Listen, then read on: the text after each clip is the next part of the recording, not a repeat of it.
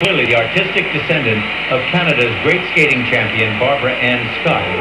Prior to World War II, international figure skating was dominated by the Europeans, but at the 1948 Winter Games, Canada's Barbara Ann Scott became the first female skater from North America to win gold, changing the face of figure skating forever.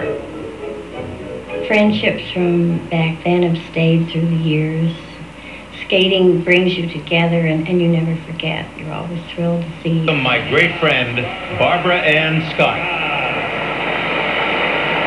The audience at the Boston Garden, 92 World.